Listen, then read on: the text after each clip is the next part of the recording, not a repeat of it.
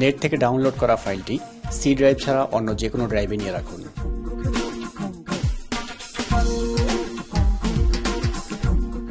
Zip ফাইলটি extract করুন। এই ফোল্ডার থেকে সেটআপ ফাইলটি রান করে অন্যান্য সাধারণ সফটওয়্যারের মতোই সেটআপ শেষ করুন। ইএক্সি ফাইলটির একটি শর্টকাট ডেস্কটপে সেন্ড করুন। আপনার পিসিতে মজিলা ফায়ারফক্স ইনস্টল করা না থাকলে এটি ইনস্টল করে নিন। ডেস্কটপ থেকে ডাবল ক্লিক করে ওয়েব টেক্সট সফটওয়্যারটি চালু করুন। ঠিকমতো রান করলে পুনরায় বন্ধ করে দিন। যদি নেট থেকে বা অফলাইনে ইন্টারনেট এক্সপ্লোরারের কোনো আপডেট ইনস্টল করা থাকে, তাহলে প্রোগ্রামটি রান করতে সমস্যা হতে পারে। এটি সমাধান করার জন্য ইন্টারনেট এক্সপ্লোরার আপডেটগুলো আনইনস্টল করে আগের অবস্থায় ফিরিয়ে নিন। এক্সপির জন্য কন্ট্রোল প্যানেল থেকে অ্যাড রিমুভ অপশনে গিয়ে কম্পোনেন্টের মধ্যে ইন্টারনেট এক্সপ্লোরারটি আনচেক করে একবার শেষ করুন এবং একই কাজটি চেক করে পুনরায় সম্পন্ন করুন। পিসি রিস্টার্ট করার প্রয়োজন হতে পারে।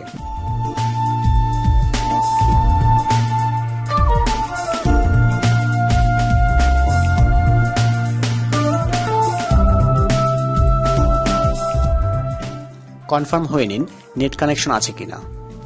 মজিলা ফায়ারফক্স চালু করুন। খেলার লাইভ স্কোর পাওয়া যায়, এমন কোনো ওয়েবসাইট খুঁজে বের করুন।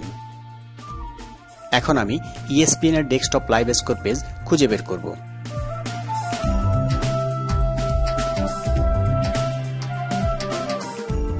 এই পেজে অনেকগুলো খেলার স্কোর লিঙ্ক থাকতে পারে।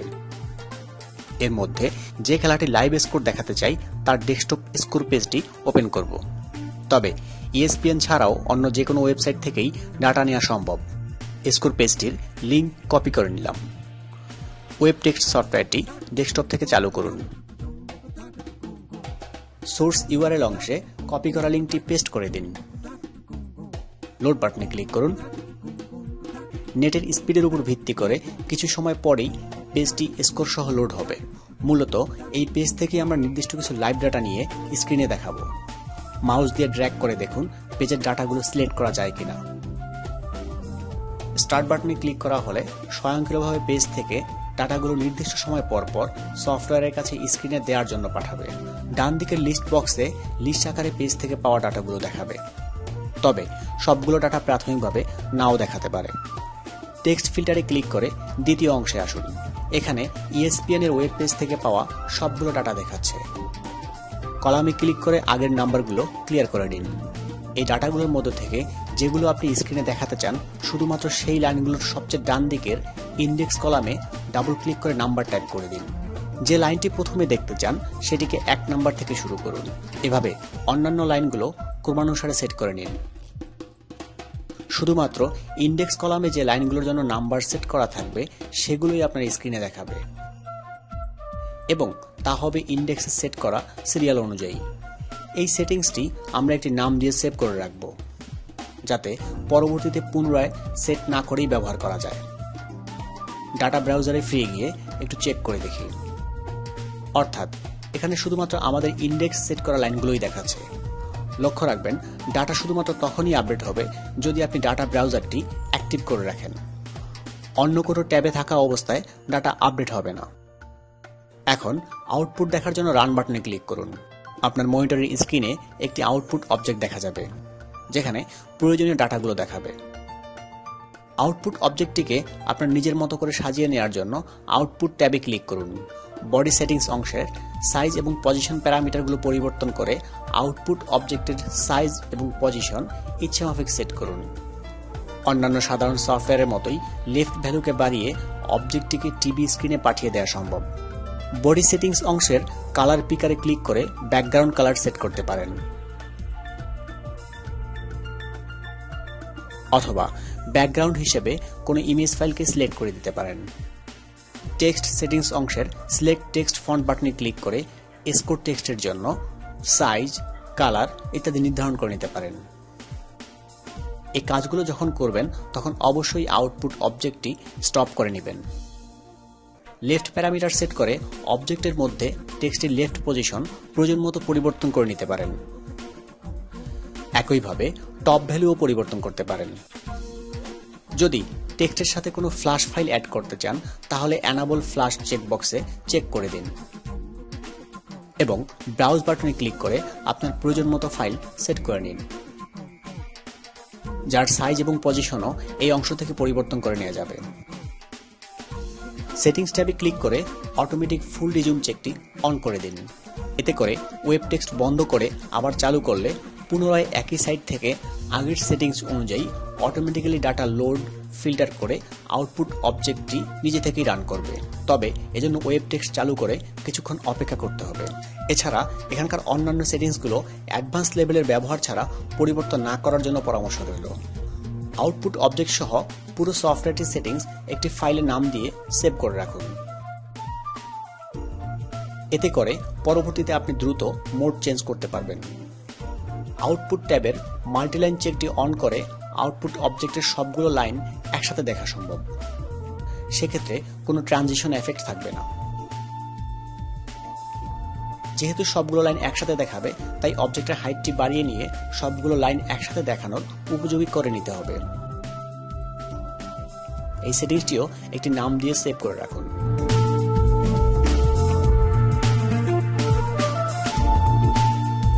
এই অংশে আমরা ফাংশনের ব্যবহার দেখব। এই ফাংশনগুলো প্রতিবার নতুন কোনো খেলার স্কোর দিতে চাইলে ওয়েবসাইট থেকে পাওয়া ডাটার উপর ভিত্তি করে সেট করে নিতে হবে। ক্রিকেটের ক্ষেত্রে প্রতি ইনিংসের সাথে ফাংশন প্যারামিটারগুলোর পরিবর্তন করার প্রয়োজন হতে পারে। ডেস্কটপ থেকে সফটওয়্যারটি চালু করব। সোর্স ইউআরএল লেভেলে ক্লিক করুন। একটি ডিফল্ট লিঙ্ক পাওয়া যাবে। এটি মূলত ইএসপিএন এর ডেস্কটপ স্কোর পেজের লিঙ্ক কপি করে নিয়ে মজিলা ব্রাউজার দিয়ে ওপেন করুন। এখান থেকে খেলা চলমান আছে এমন একটি খেলার লিঙ্ক কপি করে নিন। কপি করা লিঙ্কটি ওয়েব টেক্সটের ইউআরএল অংশে পেস্ট করুন। লোড বাটনে ক্লিক করুন। ইন্ডেক্সে গিয়ে দুটি লাইনের জন্য প্যারামিটার সেট করুন। লাইন দুটি আউটলিস্টে চলে এসেছে। এবারে এই লাইনটির বাম দিক থেকে তামিল ইউনিয়ন টেক্সটটুকু বাদ দিতে যাচ্ছি।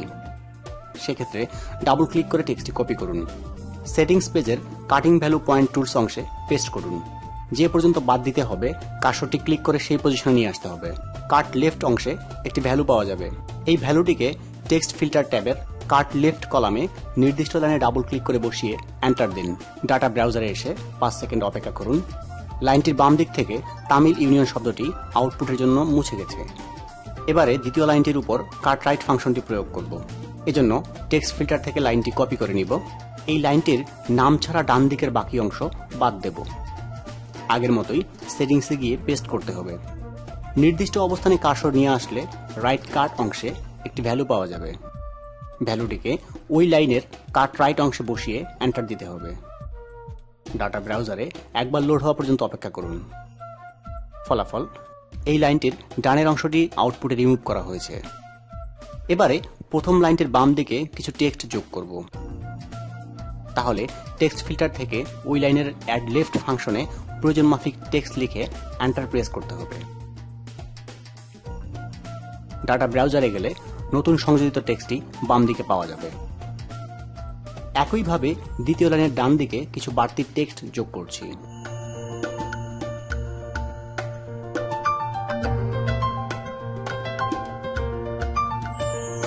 কোনো প্যারামিটার রিমুভ করতে চাইলে ওই কলামের হেডিংয়ে ক্লিক করে ইয়েস ক্লিক করুন।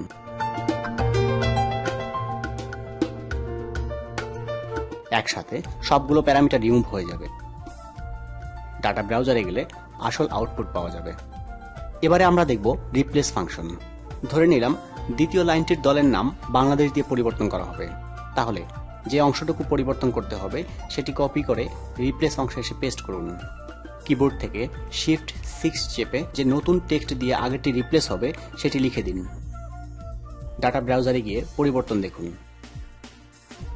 এবারে বাংলাতে কীভাবে দেশের নাম দেওয়া যায়, আমরা সেটি দেখব। ডাটা লোডিং পজ করে নিন। আউটপুট টেক্সটের উপর ডাবল ক্লিক করুন। ফন্ট পরিবর্তন করার অপশন আসবে। বাংলা ফন্ট সিলেক্ট করুন।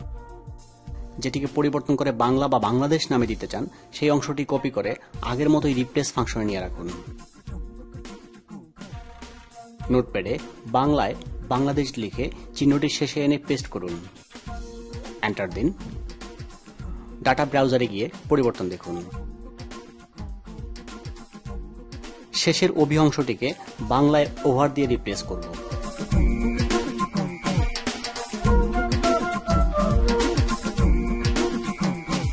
একই লাইনে একাধিক রিপ্লেস করতে হলে ব্যাকস্ল্যাশ দিয়ে নতুন রিপ্লেস ফাংশন লিখতে হবে।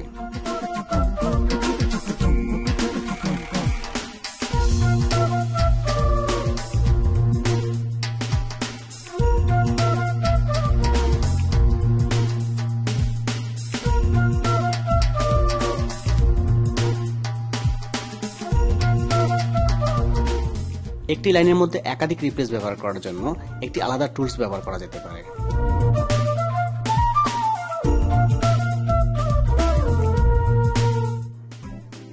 যেমন তামিলের পরিবর্তে বাংলাদেশ।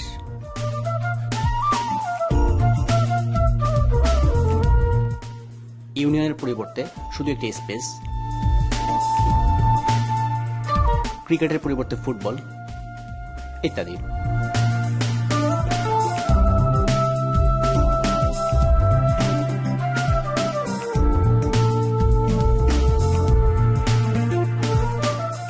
নিচে পাওয়া রিপ্লেস কোডটি কপি করে রিপ্লেস ফাংশনে বসিয়ে দিন এন্টার দিয়ে ডাটা ব্রাউজারে গিয়ে পরিবর্তন লক্ষ্য করুন। কানেক্ট লাইন এই ফাংশনটি একটি লাইনের সাথে অন্য কোনো লাইনকে একত্র করে আউটপুটে পাঠানোর জন্য ব্যবহার করা হয়। যেমন, এখানে দুই নম্বর ইন্ডেক্সের লাইনটির সাথে ছয়, সাত ও আট নম্বর লাইনকে একই সাথে আউটপুটে পাঠানোর জন্য কানেক্ট লাইন ফাংশনে লিখতে হবে six plus seven plus eight data ব্রাউজারে গিয়ে পরিবর্তন লক্ষ্য করুন। ওয়ার্নিং ভ্যালু কি? কখনো কখনো ওয়েবসাইট ডাটা প্রদান কয়েক সেকেন্ডের জন্য বন্ধ করে দেয়। এই অবস্থায় যাতে ভুল ডাটা স্ক্রিনে না যেতে পারে, সেজন্য ওয়ার্নিং ভ্যালু সেট করা জরুরি। ওয়ার্নিং ভ্যালু সেট করার জন্য টেক্সট ফিল্টার ট্যাবে গিয়ে সেখানে মোট কতটি লাইন রয়েছে সেটি দেখতে হবে। যেমন, এখানে হাই ভ্যালু টেনের সাথে এক যোগ করে ইলেভেন এবং লো ভ্যালু টেনের থেকে এক বিয়োগ করে নাইন বসাতে হবে। এক্ষেত্রে যদি কোনো কারণে এখানকার ডাটা নয় লাইনের চেয়ে কম বা এগারো লাইনের চেয়ে বেশি হয়, তাহলে স্ক্রিনে পাঠাবে না। এই ধরনের এরর তৈরি হলে ডাটা আউটলিস্ট লাল রঙের দেখাবে। তবে এই সমস্যা খুব দ্রুতই অটোমেটিক সলভ হয়ে যায়। দ্রুত সমাধানের জন্য ডাটা ব্রাউজার অংশে একটি ক্লিক করে নিলে পরবর্তী লোডিং অর্থাৎ পাঁচ সেকেন্ডে ঠিক হয়ে যাবে। এবং ওয়ার্নিং ভ্যালু ঠিক মতো থাকলে ডাটা আউটলিস্ট সাদা রঙের থাকবে। ওয়ার্নিং ভ্যালু না চাইলে জিরো অবলিক জিরো সেট করে রাখুন। এক্ষেত্রে এটি হলুদ রঙের থাকবে। আবহাওয়া বার্তার সেটিংস। এটি একটি অ্যাডভান্স লেভেলের ব্যবহার। এই অংশে আমরা কীভাবে স্থানীয় আবহাওয়ার তথ্য নেট থেকে নিতে হবে তা দেখব। আমাদের পছন্দ করা স্থান হচ্ছে পটুয়াখালীর কলাপাড়া উপজেলা। মজিলা ফায়ারফক্স চালু করলাম। সার্চ বক্সে কলাপাড়া ওয়েদার বাংলাদেশ লিখে সার্চ দিলাম। ওয়ার্ল্ড ওয়েদার অনলাইন সাইট থেকে ওয়েদার ডাটা নেওয়া যাবে। তাই লিঙ্কটি ওপেন করলাম। এই পেজে কলাপাড়ার আজকের আবহাওয়ার সকল তথ্য পাবো। লিঙ্কটি কপি করে নিলাম। ওয়েব টেক্সট সফটওয়্যারটি চালু করে সোর্স ইউআরএল অংশে লিঙ্কটি পেস্ট করে দিলাম। লোড বাটনে ক্লিক করুন। পেজটি লোড হওয়ার পর দেখে নিন ডাটা এসেছে কিনা। এই পেজের বাইশ ডিগ্রি সেলসিয়াসের তথ্য দিয়েই আমরা পরবর্তী ডাটাগুলো খুঁজে বের করব। ডাটা পাস করার জন্য স্টার্ট বাটনে ক্লিক করুন। টেক্সট ফিল্টার ট্যাবে গিয়ে পুরনো কোনো প্যারামিটার থাকলে তা ক্লিয়ার করে নিতে হবে। আমাদের প্রয়োজনীয় বাইশ ডিগ্রি ডাটাটি পাওয়া গেছে। এবং এর নিচের দিকেই অন্যান্য তথ্যগুলো রয়েছে। এখানে আমরা পেয়েছি তাপমাত্রা, বাতাস, আর্দ্রতা, বাতাসের চাপ, মেঘের পরিমাণ, দৃষ্টিসীমার অবস্থা, সূর্যোদয় এবং সূর্যাস্তের সময়। এবার নোটপ্যাডে আমাদের প্রয়োজনীয় তথ্যগুলো বাংলায় লিখে নিলাম, যা ট্রান্সলেট হয়ে স্ক্রিনে শো করবে। প্রথমেই হেডিং হিসেবে লিখে নিলাম কলাপাড়ার আজকের আবহাওয়া বার্তা তাপমাত্রা এর একক ডিগ্রি সেলসিয়াস, বাতাসের গতিবেগ, গতিবেগের একক এমপিএইচ মানে মাইল পার ঘণ্টা, হিউমিডিটি, অর্থাৎ আর্দ্রতা প্রেশার অর্থাৎ চাপ প্রেশারের একক এমবি অর্থাৎ মিলিবার, মেঘ, ভিজিবিলিটি, অর্থাৎ দৃষ্টিসীমা, সানরাইজ, অর্থাৎ সূর্যোদয়, সানসেট, অর্থাৎ সূর্যাস্ত এএম অর্থাৎ সকাল পিএম অর্থাৎ সন্ধ্যা, এই ডাটাগুলো লিখে নিলাম। এবারে প্যারামিটার সেট করা শুরু করব। প্রথমেই উনিশ সিরিয়ালের আউটলুক শব্দটিকে হেডার অর্থাৎ কলাপাড়ার আজকের আবহাওয়া বার্তা দিয়ে রিপ্লেস করব। এটি চুজ করার কারণ হচ্ছে যে এই লাইনটিতে কোনো ডাইনামিক বা পরিবর্তনশীল ডাটা নেই। তাই আমাদের হেডারটিও ফিক্সড থাকবে। বাইশ ডিগ্রি এর বামে কোনো কিছু না থাকার কারণে এর বামে অ্যাড লেফট ফাংশন দিয়ে তাপমাত্রা শব্দটি যোগ করে দেব।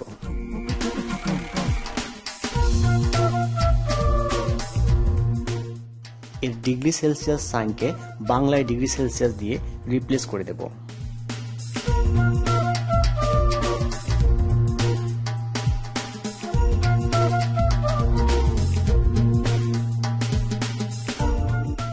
ক্লিয়ার উইন্ড অংশটিকে বাতাসের গতিবেগ দিয়ে রিপ্লেস করব।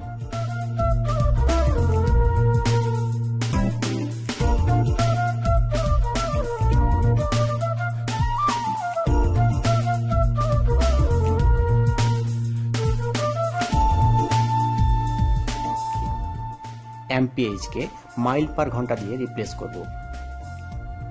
একাধিক রিপ্লেস করতে হলে ব্যাকস্ল্যাশ দিয়ে নিতে হবে।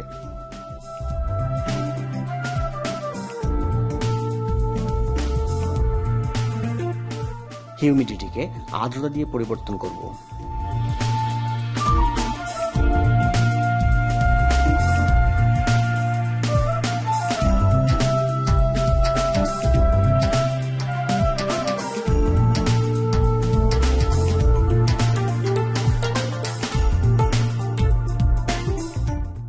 প্রেশারকে চাপ এবং এমবিকে মিলিবার দিয়ে পরিবর্তন করে নেব।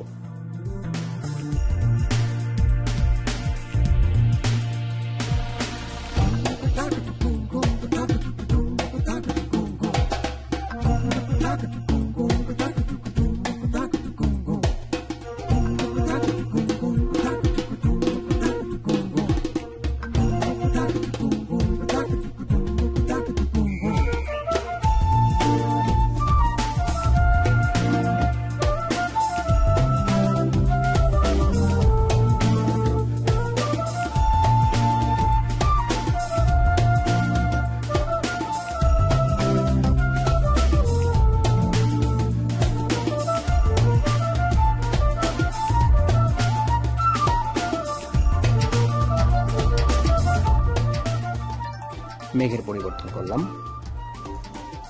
ভিজিবিলিটিকে দৃষ্টিসীমা দিয়ে রিপ্লেস করব।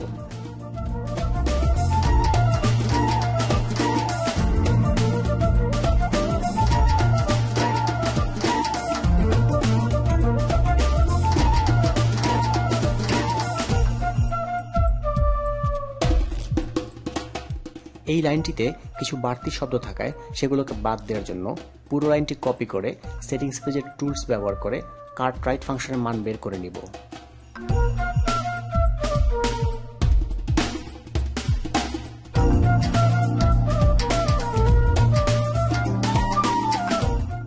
একইভাবে তেইশ নম্বর লাইনের অপ্রয়োজনীয় অংশ বাদ দেব।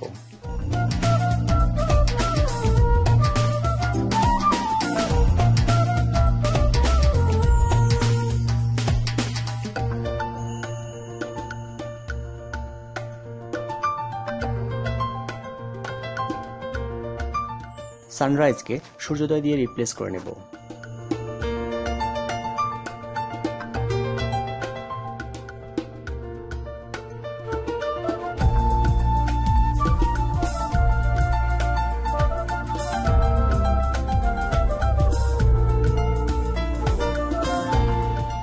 এই এমকে সকাল দিয়ে রিপ্লেস করতে হবে।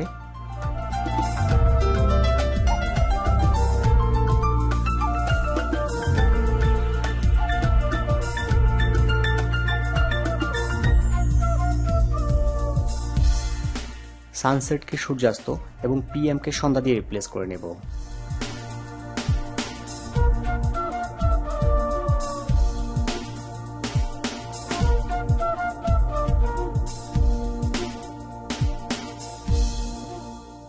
এই জটিল কাজটি শুধুমাত্র একবারই করতে হবে। এটি এই ওয়েবসাইট থেকে ডাটা নিতে হলে আর কখনোই করতে হবে না। এবারে আমরা যে ক্রম অনুসারে স্ক্রিন ডাটা দেখতে চাই, তার ইন্ডেক্স ভ্যালু সেট করে নিব।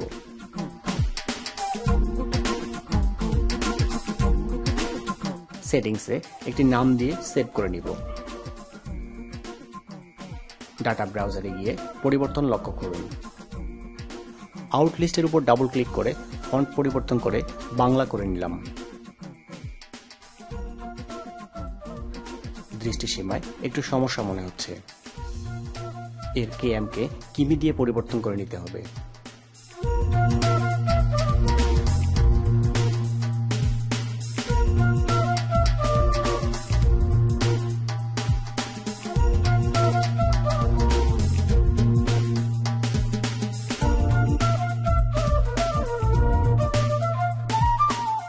এবার সবকিছু ঠিক আছে। আউটপুট ট্যাবে গিয়ে আউটপুট ফন্ট বাংলা সেট করে নিলাম। টপ ভ্যালু অ্যাডজাস্ট করে নিতে হবে। এবারে রান বাটনে ক্লিক করলেই আউটপুট পাওয়া যাবে। যেহেতু এখানকার ডাটা প্রায় আধা ঘণ্টা পর আপডেট হয়, তাই সেটিংস লিড অংশে কমপক্ষে সিক্সটি সিলেক্ট করে দিন। আপনি ইচ্ছে করলে আরও বাড়িয়ে রাখতে পারেন। ডাটা ব্রাউজারে গিয়ে চেক করে দেখুন। পরবর্তীবারে নেট কানেকশন দেয়া থাকলে শুধুমাত্র ওয়েব টেক্সট চালু করার সাথে সাথে অটোমেটিক আপডেটেড ডাটা স্ক্রিনে বাংলায় পাওয়া যাবে।